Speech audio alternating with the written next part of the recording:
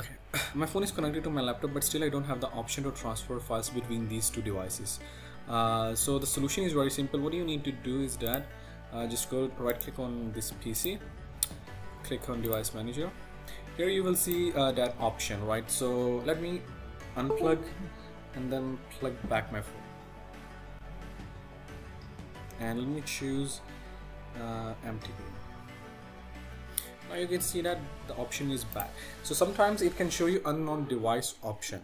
So what you need to do is that right click on it properties driver update driver browse my computer for driver software.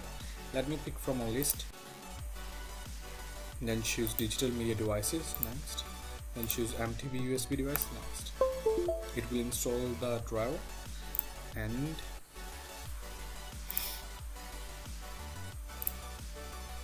now we can uh, transfer files. So let me reconnect my phone. To show you. It's working choose